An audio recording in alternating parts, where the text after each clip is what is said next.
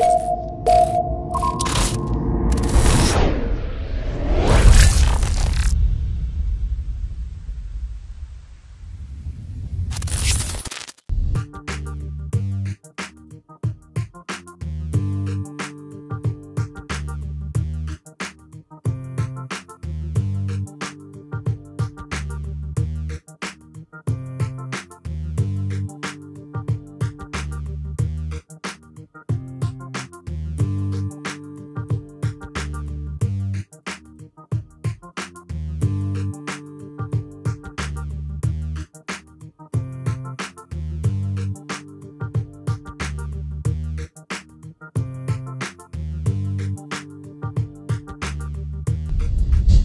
Así que, Roylenis, ¿qué tenemos en nuestro segmento de Cortando Tela? Teníamos mucho que no chimeábamos. Ay, sí, tan bueno que están las redes sociales. Verónica, y vamos a comenzar con nuestro segmento de Cortando Tela, Verónica. Y es que eh, en la primera información que tenemos en el día de hoy es eh, que Amelia Alcántara, el fin de semana pasado, Tú sabes que ella trabajaba en el programa de Directo a Show fin de semana con el productor y comunicador Wilson Sweat. Pues resulta y acontece que Wilson eh, de sorpresa le llevó a Santiago Matías, él no le comunicó a ninguna de las comunicadoras que estaban ahí.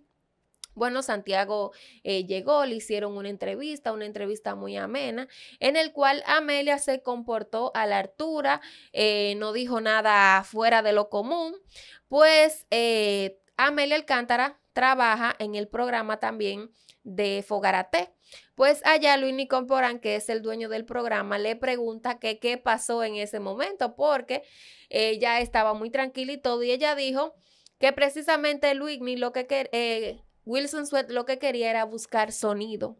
Pues por eso eh, Wilson la suspendió. Mi amor, Amelia siendo Amelia, le renunció a Wilson Sweat. bueno, mira, déjame decirte algo.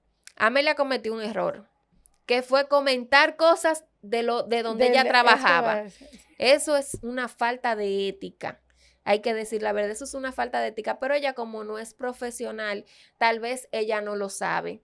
Pero ella tampoco es tonta y ella debió de saber decir, no, porque Wilson quería números y yo no se lo di. Eso no se puede decir, mi amor, al aire, porque ¿para qué fue que Wilson te contrató? Es para que tú dé los números. Ahora, si tú te hubiese quedado callada, no hubiese dicho nada, no, eh, yo no quería, porque le tengo cierto respeto, un ejemplo a Santiago Matías, eh, no iba a pasar nada, ya eso era todo, pero no decir que Wilson quería eh, números y ella no se lo dio, eso estuvo muy mal de su parte. Tú sabes que posiblemente ella lo haya hecho con el objetivo de que ella entiende que a ella todos se lo aplauden. En todos los sitios que ella está, ella le aplauden eh, si lo hace bien y si lo hace mal. Y si lo hace muy mal, también se lo aplauden.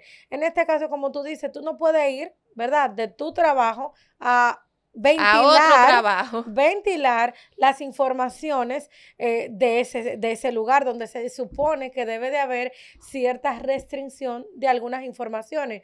Eh, yo diría que tal vez, qué sé yo, ¿tú no crees que hayan algunas propuestas por ahí y, esto haya sido... ¿Tú crees que Amelia Alcántara vuelva en algún momento a los foques? Puede que sí, puede que no, porque yo la siento a ella muy ella en el programa de Fogarate, yo siento que ella está muy cómoda porque le aplauden prácticamente todo lo que ella dice y no tiene enemigos.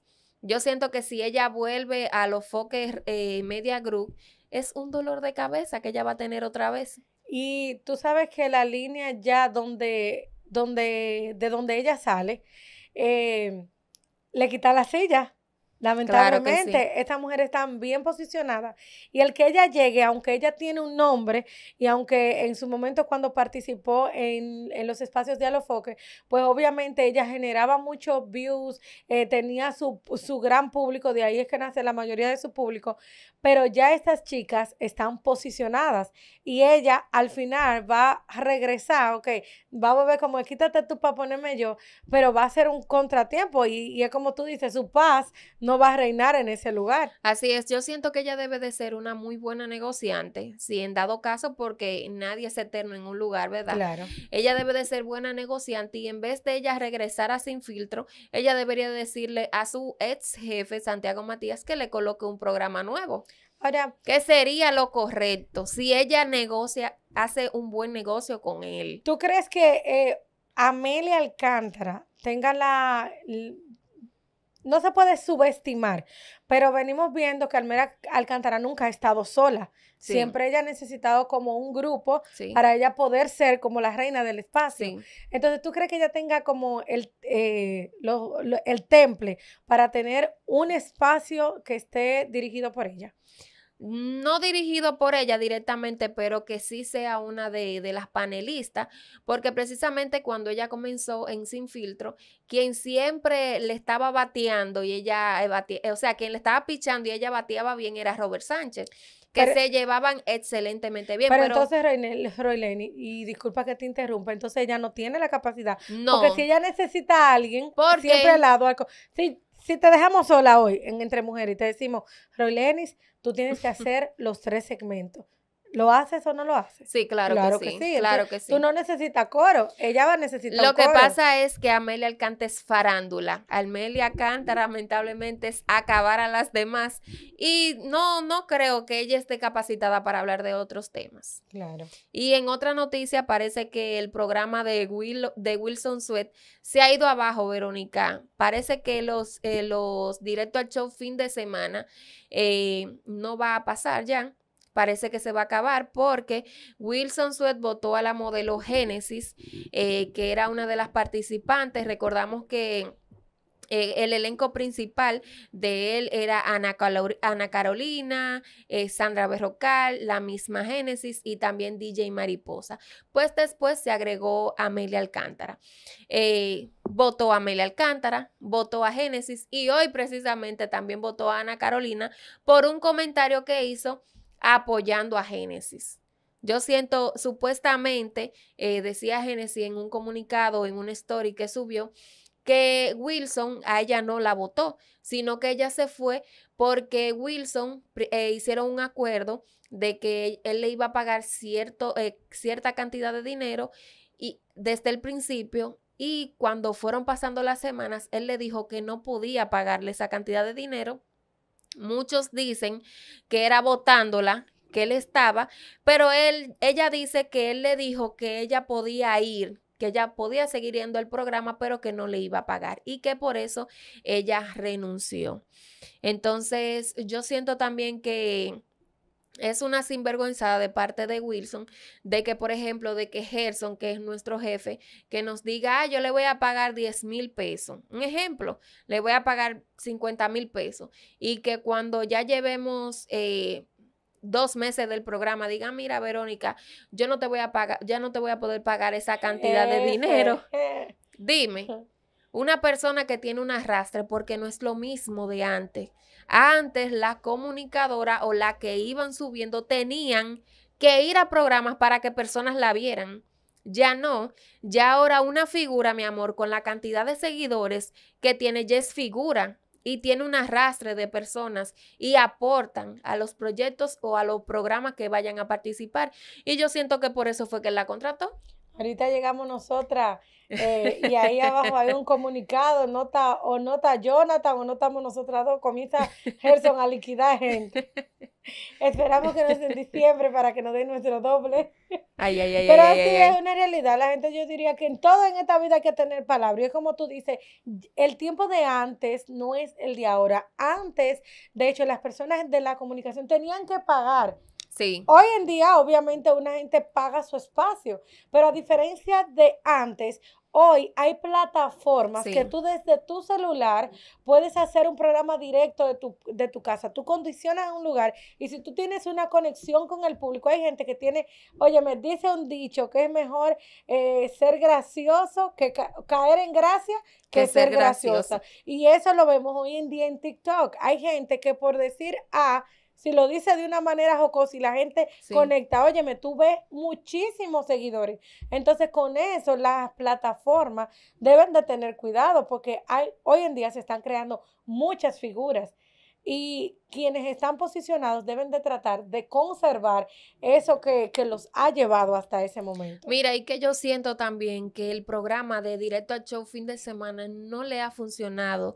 a Wilson, porque en realidad él tenía muchas figuras reconocidas y a última hora se le han ido. Mira, DJ Mariposa está para una supuesta gira yo creo que si tú entras a un programa conmigo tan reciente, por lo menos hazme unos seis meses trabajando conmigo para que después tú te vayas de gira, porque eso no le da estabilidad a los programas. De esa tú entras, yo salgo, eso no le da estabilidad al programa y lamentablemente va a llegar a un punto en que no va a funcionar, porque la gente se va a cansar de ver tanta gente diferente, no ven las figuras estelares, no ven las principales figuras y van a decir, pero ven acá, porque déjame decirte algo, Verónica, tú tienes tus seguidores.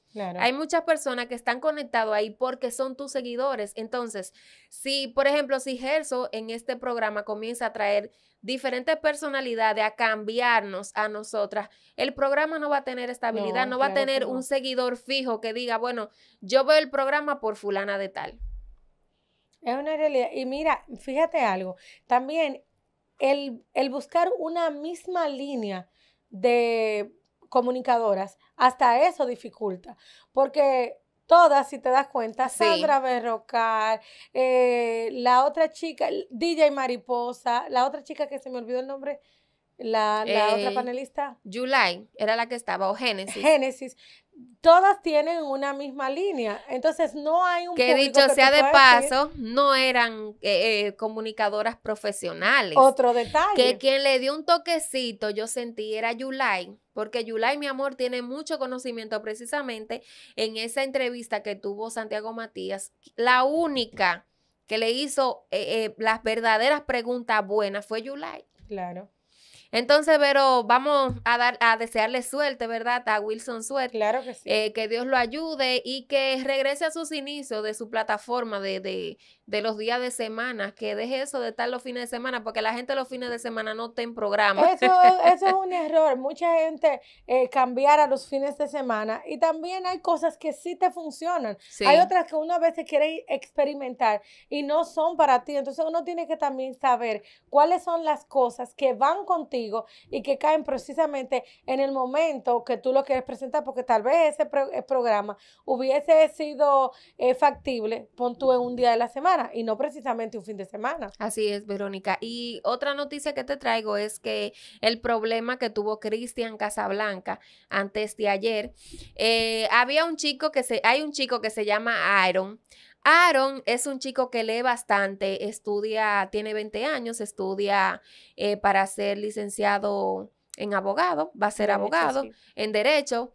Pues eh, lo lleva, él tiene sus ideales y lo llevaron eh, con Alofoque en una, en una controversia entre Aaron y, y Cristian Casablanca. Pues lo que dicen mucho, quien ganó fue en Aaron. ya le quitaron los 32 años invicto al maestro. Pues el día de ayer, precisamente, fue esta chica, eh, ella se llama Producción, ¿cómo es que se llama la chica de... ¿Cómo? Fiallo, Fiallo, Larimal Fiallo, fue precisamente a Generación Alofoque y lo puso en su lugar otra vez a, Cristian. Pues Cristian, mi amor, eh, de alguna manera... Ya venía debilitado. Sí. Mira, yo siento que, por ejemplo, a las personas, eso es un engaño total. Las personas que precisamente nada más hablan de números, lo que hablan de superación personal, ¿Por qué? Porque demuestran, por ejemplo, en esos tipos de debates que no tienen la capacidad para poder debatir cualquier tipo de tema. Porque el maestro nada más habla de la filosofía, eh, que del mundo, que, que, el universo, que las energías. Señores, no estamos en eso. Una persona preparada debe de tener un amplio conocimiento. Y lamentablemente ese amplio conocimiento no lo tiene el maestro. Ya los indios se quedan allá atrás. Claro que no. Y mira, él decía en, en el debate que tuvo con Aaron que los clientes de él eran clientes ricos. Y yo no le creo eso, maestro. Yo siento que los clientes de usted son gente pobre, porque los pobres son los que andan atrás de los números, los pobres de mente. ¿Por qué razón? Porque una persona que es rica no va a estar jugando números eh, o buscando una gente para que le pague, porque entonces juega los números del 1 y 100 a ver si tú no te vas a sacar. Adiós, pero ¿Mm? una gente millonaria dice, bueno, hoy mi hobby va a ser meterle 100 mil pesos a cada número de la lotería. Y, se, va a sacar más de los 100 mil. Entonces, entonces, lo que no me gustó a mí eh, con relación a Larimar, que él cuando no tiene argumento, cuando las personas no están a su favor, él ofende. Y precisamente él ofende a la mujer, le dijo rata por suelo, le dijo, le dijo muchísimas palabras indebidas que una persona cuando no tiene argumento, cuando está perdiendo, eso es lo que hace. Una persona que no está preparada. Y ahí es donde el niño decía que los aparentemente los libros de superación personal no valen de nada sí valen para las personas que tienen problemas mentales, que lo ayudan, por ejemplo, a superarse, a salir adelante. Pero aparte de eso, hay que tener otro tipo de conocimientos en la vida. Tú no ves muchísima gente que lee y lee y lee, tú le recomiendas libros y ese le lee y no le sirve de nada. Así es. Porque, óyeme, de nada te sirve leer algo y no ponerlo en práctica o no saber cómo ejecutar eso que tú leíste. Entonces, eh, eso no sirve. Mira, la recomendación que yo tengo para el maestro es que trate de por lo menos de escuchar, de que aprenda de que no todo el tiempo él va a tener la razón. Tuvo que pedirle perdón al Arimar por lo que él le dijo, por ofenderla, pero fueron una, eh, eh, unas disculpas hipócritas, porque él decía, si tú crees que yo te ofendí, señores, la persona que está consciente que ofendió no dice si tú crees, porque sabe muy bien que le ofendió. Entonces, mi recomendación es para el maestro, maestro, no todo el tiempo usted tiene que tener la razón. Está muy bien que usted haya progresado, de que usted haya salido adelante, de que usted viva bien, de que usted pueda gastar dinero, de que usted tenga las cuatro riquezas que estoy de acuerdo con él. Pero señores, él debe de aprender a aceptar las opiniones de los demás, que ese es el problema que él tiene. Mira, yo te voy a decir, yo no le, mira, no le, yo no le haría una entrevista al maestro porque yo tengo un carácter medio alocado. Entonces, no, que ese hombre venga a vos, a vos. Mira, lo, lo, lo, que más me molesta a mí es cuando yo estoy hablando con alguien, como tú dices, esa persona está perdiendo la razón quiera como subirme la voz, yo no nací para eso, porque mira, eso como que, como que me descontrola. Y yo de una vez yo una gente que me esté hablando, como, porque eso es tratando de intimidar a las personas. Así es. Eso es una forma de tratar de intimidar a las personas para el que está teniendo una conversación contigo, o sea, se sienta perdido, porque dicen por ahí que la mitad de, eh, del pleito. lo gana la boca. Entonces esas son como ah, sus... Por eso fue que el animal le abrió otra boca más. y lo más bajo, Verónica, es que le dijo, es que tú vivías con el boli. Oye. Cosas personales. Óyeme, el que no tiene argumento se va a lo personal. Claro. Entonces, eso está mal, maestro. Eso no se puede. Deje de estarle diciendo una garra a las mujeres ni nada de eso. Nosotros los dominicanos somos los responsables, el ser humano en general. No vamos a puntualizar tanto. Pero somos los responsables de subir personas muchas veces sin capacidad o si tiene un tipo de, de talento, de arte, vamos a, para no tirarlo tanto, pero llegamos y subimos gente que no generan, eh, que, no, que no brindan un aprendizaje, que tú puedes decir si van de motivación, de ejemplo. Y vemos hoy a día, lo vemos, lo vemos constantemente. ya en los últimos tiempos tú ves que una gente, por sacar una canción media distorsionada, por hacer un baile, ya eso se lo aplaudimos. Y posiblemente una gente que esté esforzada, que realmente tenga talento y que necesite del apoyo, no cuenta con ese apoyo. Y lo ven y dicen, a eso me aburre. A nosotros nos gusta la, la morbosidad. Así es. Eso es lo que nos gusta actualmente, porque hay que, ya uno, hasta uno tiene que incluirse, porque a veces uno está viendo una gente que está haciendo una charla y lo pasamos, pero el que viene abajo está haciendo un posible, está haciendo, qué sé yo, un maquillaje, lo que sea, y tú ese que te gusta, pero el de la charla, tal vez te va a servir más que maquillaje. Claro que sí, Verónica, y de verdad felicitar al niño Angro, que dentro de lo que cabe, aunque se equivocó en algunas cositas, porque no no, el ser humano no puede saberlo todo, pero él defendió sus ideales. Claro. Que eso es lo que yo siento que muchos de los jóvenes deben de tener en este tiempo, estudiar y defender sus ideales, porque por ejemplo, si tú dices que ese lapicero es morado, yo te puedo decir que ese lapicero es rojo y te puedo explicar el por qué. Ahora yo me puedo equivocar, yo puedo aceptar que me equivoqué, pero yo debo de aprender a defender mis ideales. Y lamentablemente en estos tiempos que hay muchos estafadores, ¿verdad? No voy a decir eh, Cristian Casablanca y nada de eso, pero hay muchas personas que viven de eso, de los números y que estafan a muchísimas personas y por eso es que muchas veces los jóvenes de ahora no se quieren preparar, no quieren leer. Señores, uno de los aprendizajes mejores que hay ahora mismo eh, y todo el tiempo ha sido la lectura, por ahí es que tú vas a aprender, por ahí es que tú adquieres muchísimos conocimientos.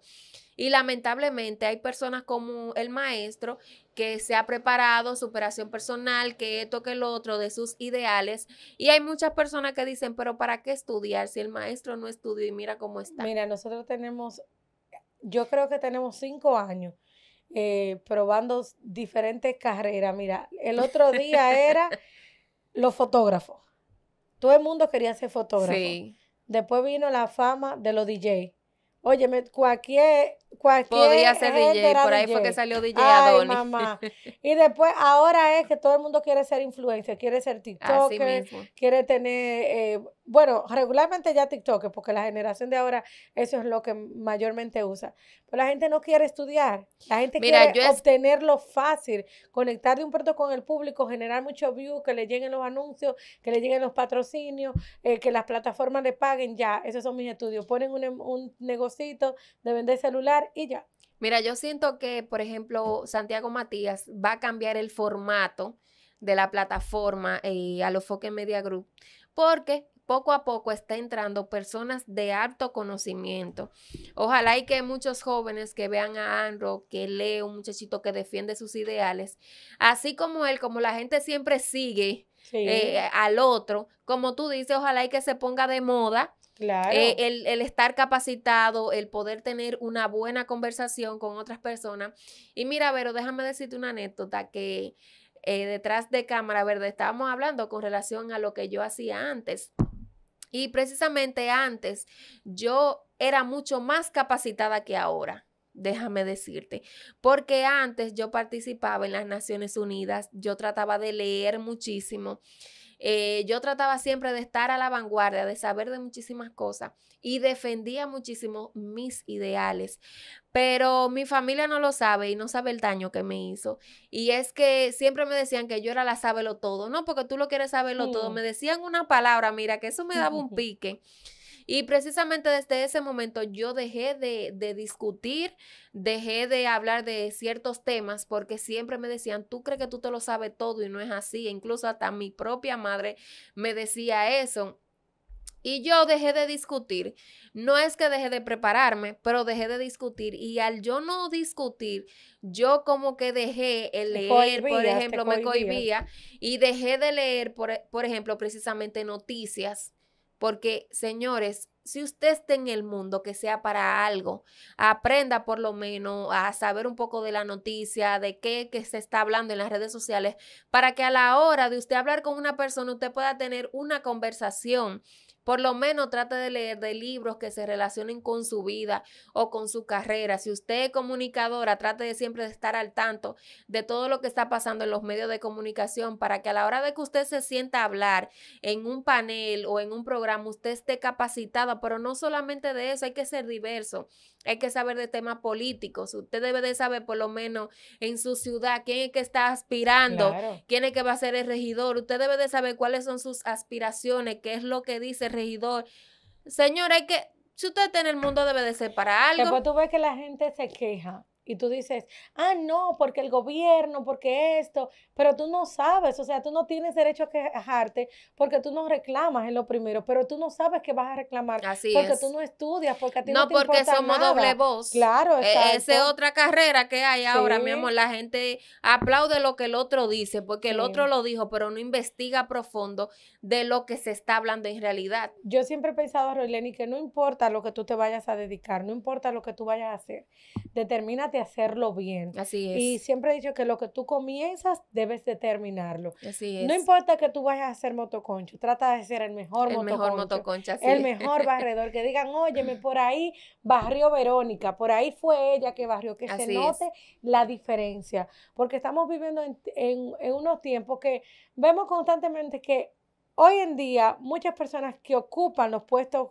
buenos, puestos no necesariamente son los que lo merecen y nos estamos acostumbrando a eso, a que las oportunidades no sean de quienes se prepararon. Mira, yo veo muy, me resulta chocante cuando yo veo un joven que estudió medicina, vamos a suponer, o que estudió cualquier carrera y hace seis años, hace cinco años, y cuando, y se, se dan muy buenos, y cuando llega el momento de ellos ocupar un puesto, posiblemente lo tenga una persona que no está capacitada en esa área o que no tenga todos los conocimientos requeridos para cumplir la función que amerita ese puesto. Así es. Y lo vemos en la política, muchos puestos que tal vez tú mereces, tal vez yo, Jonathan, cualquier ser humano, y tú lo ves y tú dices, pero esa función que lo podría estar haciendo, pero lo peor es, si tuviera, la, si tiene la oportunidad y lo está haciendo bien, no importa,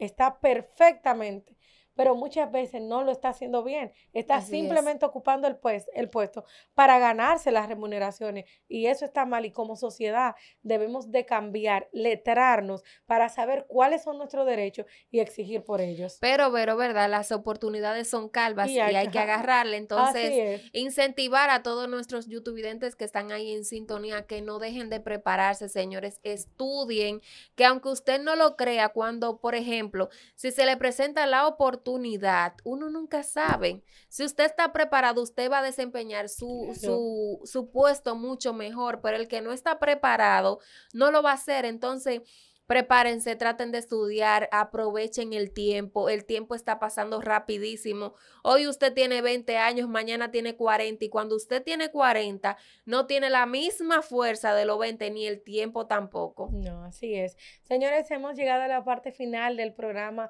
de la programación del día de hoy. Nosotros estamos felices hemos hecho un programa que realmente ha servido de motivación tanto para nosotros como para otros. Así, que este contenido, compártalo para que otros puedan también, eh, les sirvamos de motivación y puedan también seguir creciendo. Nosotros estamos aquí, pero ya nos vamos a nuestros hogares esperando que el Señor les acompañe el resto de la semana. Les esperamos el martes, así que recuerde conectarse con nosotros a través de YouTube y también seguirnos por Instagram. Roy Lenis.